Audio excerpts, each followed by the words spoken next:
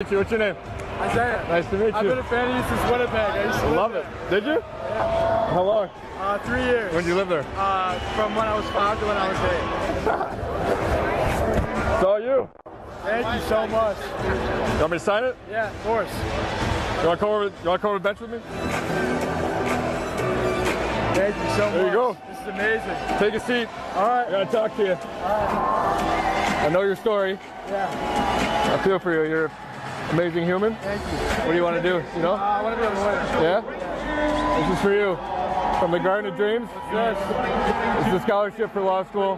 No So you're gonna graduate from college. You're gonna go to law school. and You're gonna have no debt coming out of school. Thank you so much. You deserve it, man. Thank you so much. Congrats. your phone? Yeah. I'm gonna give you my number. Oh, no way. You're not gonna give it to anybody else, but I want an invitation to when you graduate law school.